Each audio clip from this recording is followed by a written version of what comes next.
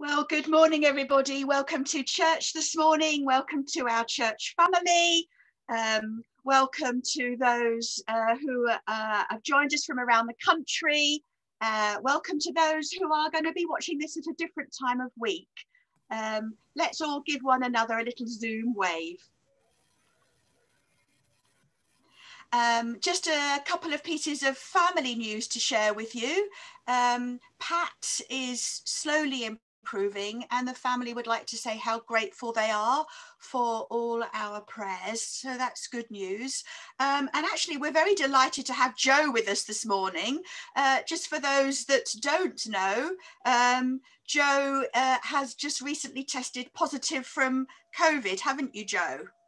And you're confined to your room. If you joe if you want to unmute you can tell everybody how you are I'm done. Yes, you're done. How are you, Joe? I'm I'm fine. Good. Just a sore throat, I understand. Yeah. Yeah. Well, it's lovely to have you join with us from your bedroom, which is where you're confined to at the moment, all of you, isn't it? Yeah. Yeah. Okay. And we hope that you soon start to feel better soon. Yeah. Lovely, Joe. Okay, everybody. Um, so we gather now together in God's, God's presence.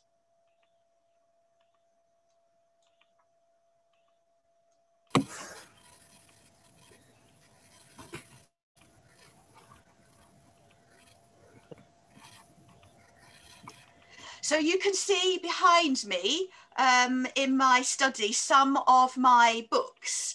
I might not have as many theological books on my shelves as I know some ministers do, but I still nonetheless have quite a few.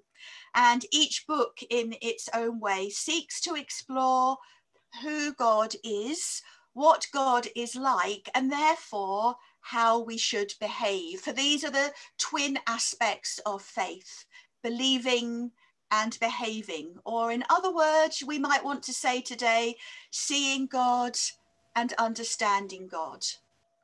And these two aspects are what our two readings today are going to touch on. But of all the densely written books on my shelves, perhaps the book that delights me the most is a children's book I bought a few years ago called Images of God. Its pages contain simple drawings and explanations of what God is like. But their simplicity is misleading, I think, for in their own way, each is profound and draws us closer into the mystery of God. And as we think this morning about seeing God and understanding God. We're going to be using some of these images and words to help bring us into a deeper understanding of God. And so now, for our call to worship, we're going to use one of these images.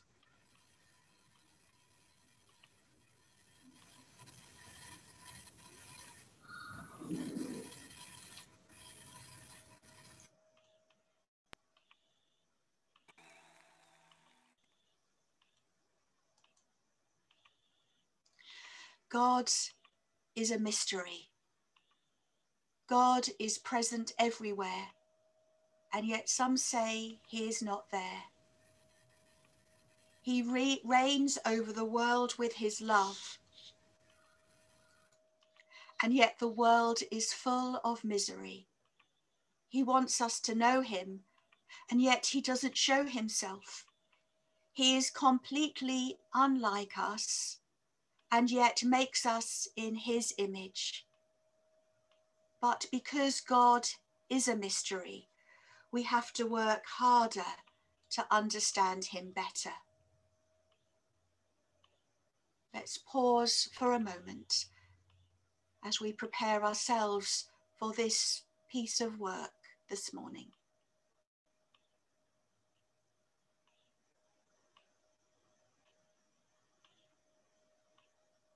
And so, as we continue this work of understanding God better, God better, we're going to sing our first hymn, Be Still and Know that I am God.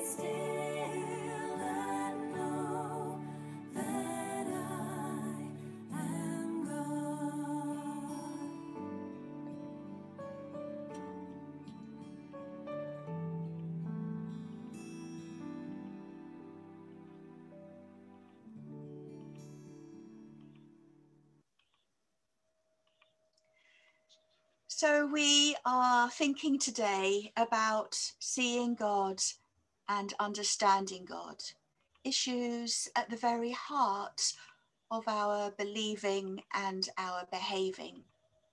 We're going to use more of the pictures and words from the book Images of God to enable us to draw close to God now in prayer.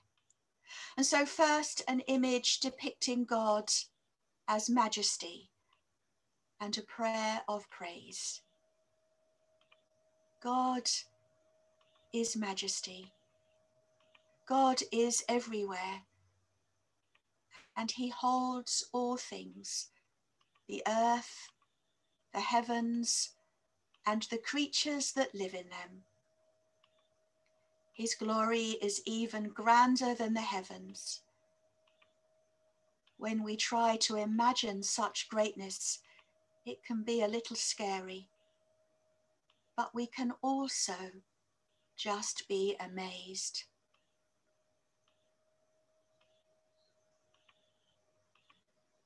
The next image is entitled God is Mercy. So I invite you now to think of those things of which you are not proud. Confess them to God. And hear now these words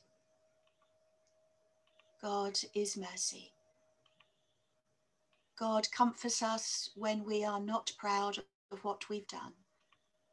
God always looks at us with eyes full of mercy because he loves in us what we wish to be. And under that look of mercy, we become better. May that be so. Amen. In our Old Testament reading, we have a conversation between God and Moses, in which Moses is pleading with God to show the Israelites what God is really like. Haven't we all at one time or another wanted to know such a thing? To really see God? Chris and Ian are going to read this conversation for us using the contemporary English version of the Bible.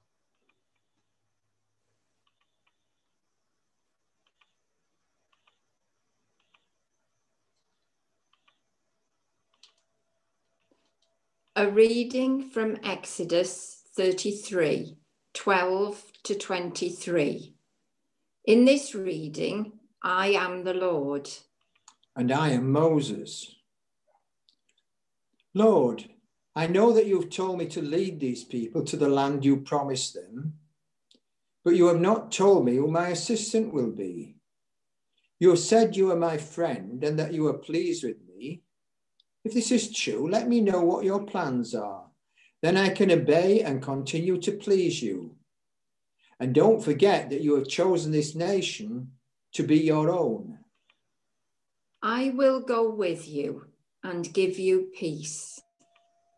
If you aren't going with us, please don't make us leave this place. But if you do go with us, everyone will know that you are pleased with your people and with me. That way, we will be different from the rest of the people on earth. I will do what you have asked, because I am your friend and I am pleased with you. I pray that you will let me see you in all your glory. All right. I am the Lord, and I show mercy and kindness to anyone I choose. I will let you see my glory and hear my holy name, but I won't let you see my face, because anyone who sees my face will die. There is a rock not far from me. Stand beside it and before I pass by in all of my shining glory, I will put you in a large crack in the rock. I will cover your eyes with my hand until I have passed by. Then I will take my hand away and you will see my back. You will not see my face. Amen. Let us hear what the Spirit is saying to the church.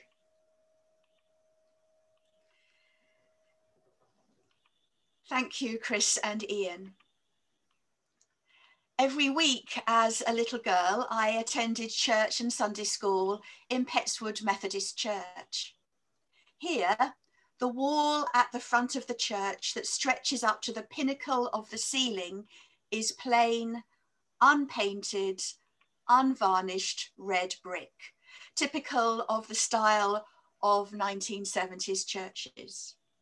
Presumably to soften the look, a blue velvet curtain has always hung over that wall as a backdrop to the communion table. As children, my sister and I used to imagine that behind that curtain was God. I wondered why God never came out from behind that curtain, for I would jolly well have liked to have seen him. Can God be known? And if so, how? This is the timeless yearning of humanity. And it's not so much a question about knowledge as a quest of faith which seeks understanding. Which of us has not cried out at one time or another, God, I need you. I need you to speak. I need you to be present and not in some hidden way. I need to know you are there and I need to know it now. There's a story told of a young woman who had a very difficult decision to make, one that she felt was hugely important, one that would change the course of her life forever. At first, she prayed calmly and gently, hoping that clarity from God would come. It did not. As time went on, the young woman grew from concerned to stressed to panicked to angry. God, you say you love me. You say you care about my life. You say you are here for me. Where are you? Speak, show up. The young woman resolved not to move from her room until she had heard from God a very clear answer. It was not long, to her surprise, before she received her answer. God showed up with remarkable clarity. But God did not tell her what to do in regard to the decision that she had to make. However, God became intimately present to her. God graced her angst filled silence with calm and peace and told her again and again, I love you. It seemed that God perceived a more urgent question. God addressed a more important matter. And suddenly, that young woman's question, which previously had been so pressing, could wait. At the beginning of our reading today, Moses asks for answers to his problems.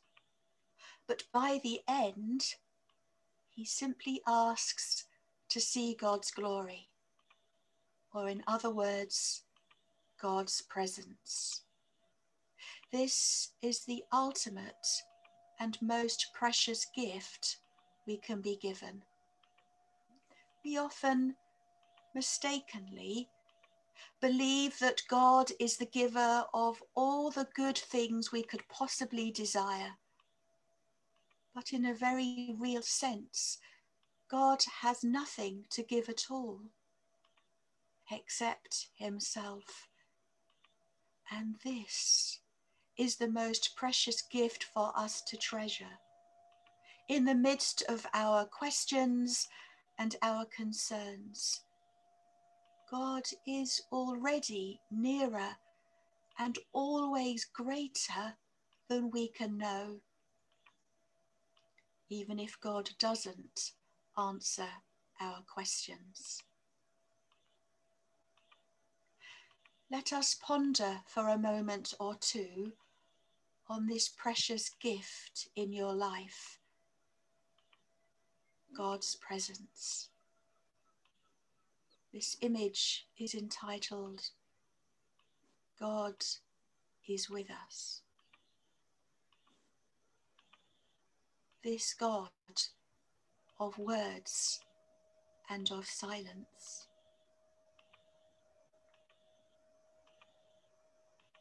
This God of light and of night.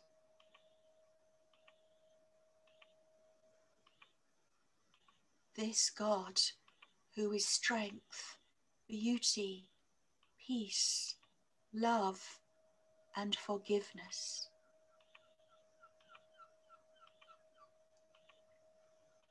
This God who heals, who frees, and who saves.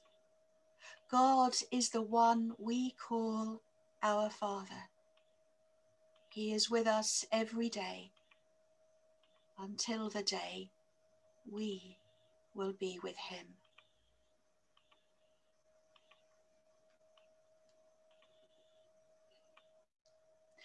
If the Exodus reading is all about seeing God's presence in our lives, then our gospel reading is what we should do with it. Or, in other words, how we should behave. In our reading, the Pharisees try to set a trap for Jesus, and Maggie is going to read it for us.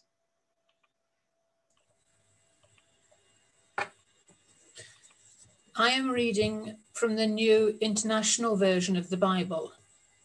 It's Matthew chapter 22, verses 15 to 22. Paying taxes to Caesar. Then the Pharisees went out and laid plans to trap him in his words.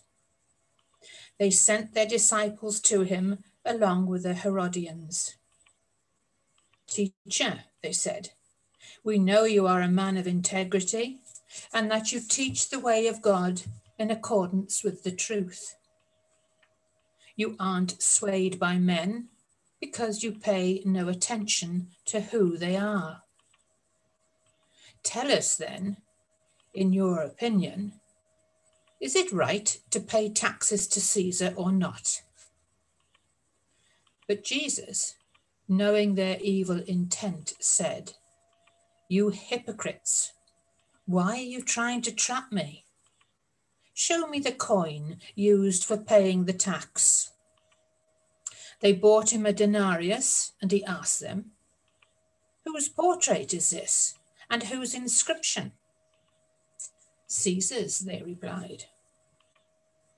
Then he said to them, Give to Caesar what is Caesar's, and to God what is God's.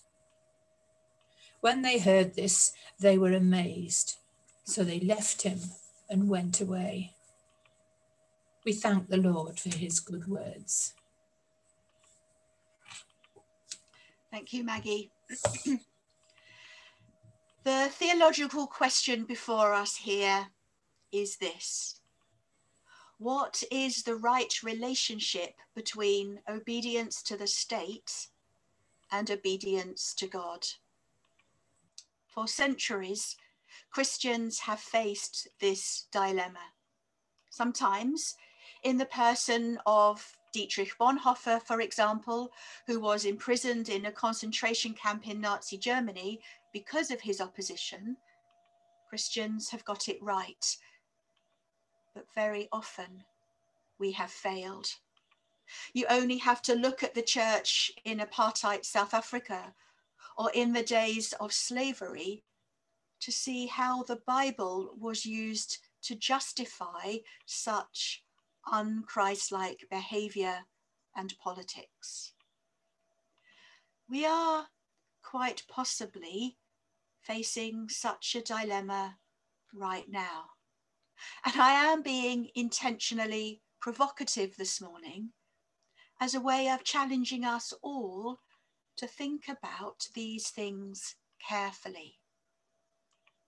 In the interest of keeping the COVID infection levels low in our community, the government is requiring us to forfeit a wide range of activities. Some of this means that people's livelihoods will suffer terribly, and millions more will find themselves on the brink of poverty. Some of this means that we are not allowed to visit people who are suffering from terrible isolation and the subsequent impact on their mental and emotional health. These two issues weigh heavily now, either upon us or upon our nation. What is the right thing for us to do? To obey the COVID rules imposed on us by the government for the safety of the whole of the community, or to break them in order, for example, to offer what is possibly much needed pastoral care. Given the narrative that we are being told, are we being as wise as we should be? Or is it only after the fact, when it's all over, that we are able to tell whether we judged the narrative correctly or were taken in by it. What is the right relationship here between obedience to the state and obedience to God? Politicians who have to make these new COVID rules, and we who are living through this pandemic have a fine line to tread. Should we be collaborators or subversives? Perhaps it will only be with the benefit of hindsight that we will know the answer to this question. But there is comfort, perhaps, in Jesus' refusal to make the conundrum of rendering to Caesar or rendering to God an easy question. The answers are simple only for those who regard Caesar either as God or as the devil, who see everything in simplistic black and white terms. Meanwhile, the rest of us live in a more complicated world of shades of grey. And therefore, we must be honest with ourselves and others as we wrestle with the right path to take. May God bless us with seeing Him and understanding His ways. So we spend some moments in silence as we ponder the dilemmas, the questions, the choices, big and small, that we face, and pray that God will bless us with seeing and understanding. Look at this image. God is a path. When everything looks too difficult, when we don't know where to go anymore, when it seems we stand before a closed gate or on the bank of a river that is impossible to cross, we need to call on God to help us go forward. When we understand that His love awaits us, we won't be mistaken about the path.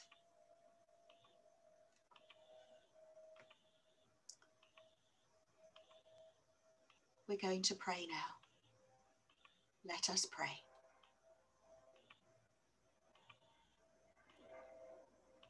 Help us to remember that when we can't find the words, you listen, O God, to our hearts, and your Spirit pleads for us in sighs too deep to be spoken. Lover of justice, we hold before you the peoples of the world establish equity, and grant wisdom. Strong God, we hold before you the church throughout the world and our own church. Strengthen our hearts and renew our vision.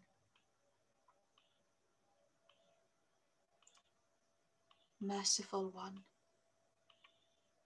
We hold before you now those we know who are in need. Reach out, we pray, with healing and restoration. Encircle in comfort and care. listening God.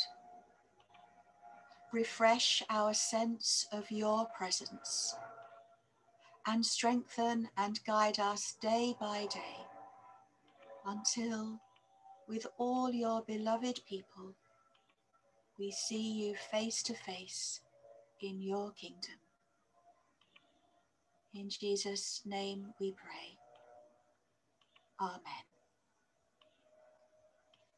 And we each say together in our own homes those words that Jesus taught us, saying, Our Father, who art in heaven, hallowed be thy name.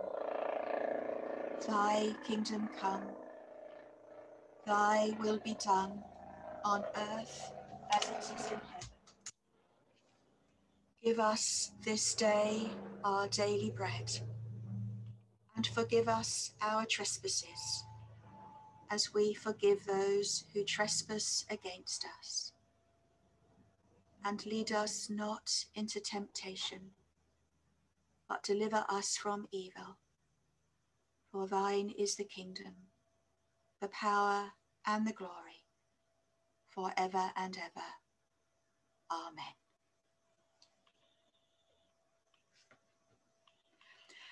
Our final hymn uses the words that apparently John Wesley said on his deathbed Best of all is God is with us. This, I think, is what I want us to take away from our time together this morning.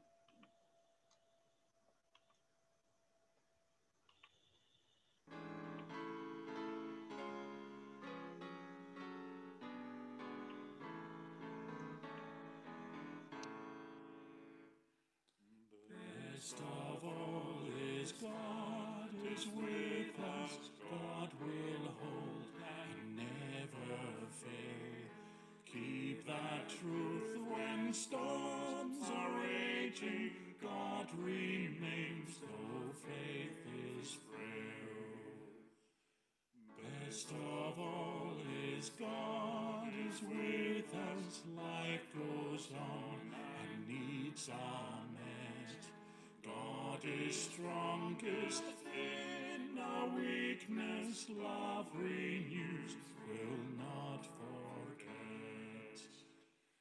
Best of all is God is with us. Hearts are challenged, strangely warmed. Faith is deepened, courage strengthened, grace received, and hope reformed.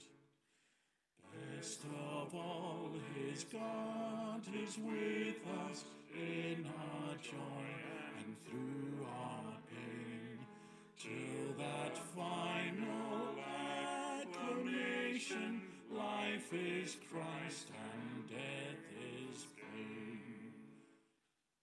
Best of all is God is with us as we scale eternal heights. Love grows stronger, undiminished, earth grows dim by heaven's light.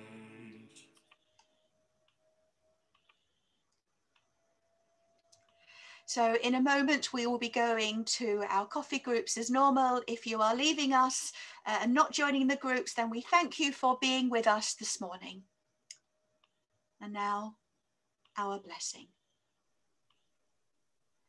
May we see you, O God, and in seeing, be drawn into greater understanding. And in understanding, be moved into right living. And may God be our company. Christ Jesus walk before us, and the Spirit surround us with a cloud of grace. Amen. Amen.